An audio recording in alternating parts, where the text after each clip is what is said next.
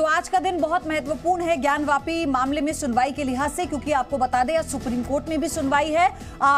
Allahabad high court में भी इस मामले में सुनवाई है किसी याचिका पर, और इसी के साथ जिला अदालत में भी सुनवाई है। आपको सिलसिलेवार तरीके से हम बताएँगे मस्जिद मंदिर विवाद को लेकर, एएसआई सर्वे को लेकर, जो मुस्लिम पक्ष ने इसके खिलाफ याचिका लगाई थी इलाहाबाद हाई कोर्ट में, दरअसल उस पर सुनवाई है। तो ये बड़ी खबर इस वक्त की आपको हम बता दें, सबसे पहले कि ज्ञानवापी पर इलाहाबाद हाईकोर्ट में सुनवाई होगी।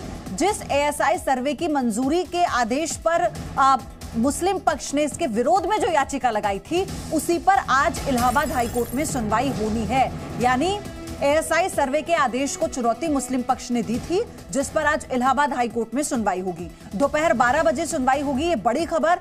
सर्वे आदेश को मस्जिद कमेटी ने भी चुनौती दी थी और हाईकोर्ट में एएसआई सर्वे को चुनौती दी गई है। अब इसी पर आज इलाहाबाद हाईकोर्ट में सुनवाई होनी है। तो ये बड़ी खबर आपको इस वक्त हम बता रहे हैं। ये भाई, अपना खुद का सुपरमार्केट बना के महीने का दस लाख कमा रहे हैं। हाँ सिर्फ़ पैसे वाले नहीं, आप भी कर सकते हैं। फ्रीडम ऐप को अभी डाउनलोड कीजिए। एएसआई सर्वे को लेकर जो मंजूरी कोर्ट की तरफ़ से दी गई थी, जिसमें ये कहा गया था कि आर्कोलॉजिकल सर्वे ऑफ़ इंडिया की टीम इस पूरे प्रांगण का सर्वे करेगी और जिस तरह के सबूत सामने आए थे, उसी को आधार बनाकर इस बात का पक्ष हिंदू पक्ष की तरफ़ से अदालत में रखा गया था, जिस पर अदालत ने ये कहा था कि एएसआई का सर्वे होना चाहिए और इसी को लेकर मुस्लिम पक्ष ने इसे इलाहाबाद हाईकोर्ट में चुनौती दी।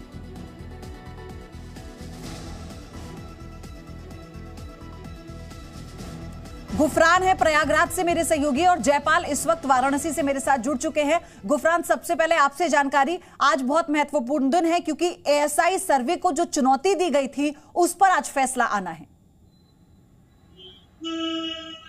देखिए, बिल्कुल आज की जो सुनवाई है, वो बहुत महत्वपूर्ण है। आज जो सुनवाई होनी है, उसमें एएसआई सर्वेक्षण का जो आदेश अप्रैल 2021 में वाराणसी के जिला न्यायालय ने दिया था। उसी आदेश को मस्जिद कमेटी और वक्फ बोर्ड की तरफ़ से इलाहाबाद हाईकोर्ट में चुनौती दी गई थी। आज इसी याचिका पर सुनवाई हुई है। हो नहीं है दोपहर करीब 12 बजे से सुनवाई शुरू होगी। जिसमें एसआई का जो पक्ष है, वो भी आ चुका है। एसआई के जो डीजी हैं, डायरेक्टर ऑफ़ जनरल, उन्होंने पिछली सुनवाई के दरमियान यह हलफनामा दाखिल करके कहा था कि एसआई अगर कोर्ट अगर उन्हें अगर आदेशित करती है तो वो इस पूरे मामले की जाँच के लिए उनकी जो टीम है, वो सक्षम है और जाँच करने के लिए तैयार है। इस मामले पर मुस्लिम पक्ष को ऑब्जेक्शन फ़ाइल करने के लिए कोर्ट ने दस दिनों का समय दिया था, जिसकी मियाद पूरी हो चुकी है और आज इस पूरे मामले में ऑब्जेक्शन जो है वो फ़ाइल किया जाना है। मुस्लिम पक्षकार और वक्फ बोर्ड कमेटी की तरफ़ से पक्ष दाखिल किया जाना है। तो ऐसे में आज की जो सुनवाई है, बेहद महत्वपूर्ण होने वाली है। दोपहर करीब 12 बजे से कोर्ट ने निर्णय लिया इस पूरे मामले की सुनवाई का। तो जस्टिस प्रकाश पाड़िया जो सिंगल बेंच है हाई कोर्ट की, वो इस पूरे मामले की शुरुआती दिनों से सुनवाई करती आ रही है। तो आज जब सुनवाई होगी तो बहुत महत्वपूर्ण होगा। मंदिर पक्ष के तरफ़ से बात करें। तो एससी वैद्यनाथन जो सुप्रीम कोर्ट के वरिष्ठ अधिवक्ता हैं, उन्होंने राम मंदिर जन्मभूमि विवाद मामले की भी सुनवाई के दरमियान कोर्ट में मौजूद रहे थे।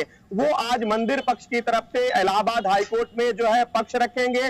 तो इस लिहाज से जब सुनवाई होगी तो बहुत महत्वपूर्ण होगी, हालाँकि देखने वाली बात होगी कि कोर्ट का इस पे क्या रुख होता है, लेकिन ये माना जा रहा है कि आज इस पूरे मामले में सुनवाई जो है वो पूरी हो सकती है। हालाँकि जब सुनवाई होगी तो ये माना जा रहा है कि करीब तीन घंटे तक इस पूरे मामले में दोनों पक्ष, खास करके मस्जिद कमेटी और जो मंदिर पक्षकार हैं, दोनों की जो दलीलें हैं, उन दलीलों को रखा जाना और करीब ढाई से तीन बजे के आसपास इस पूरे मामले में कोर्ट अपने किसी न किसी नतीजे पर पहुंचेगा, या तो सुरक्षित कर सकता है फैसले को, या किसी के पक्ष में आर्डर भी पारित कर सकता है।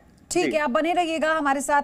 गुफरान आपका फिर से हम रुक करेंगे। जयपाल क्योंकि मुस्लिम पक्ष इसका लगातार विरोध कर रहा था जिस वक्त याचिका दायर की गई थी एएसआई सर्वे को लेकर उस वक्त भी।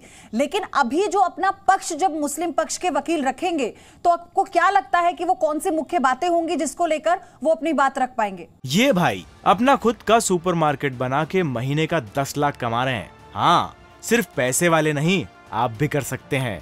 फ्रीडम ऐप को अभी डाउनलोड कीजिए।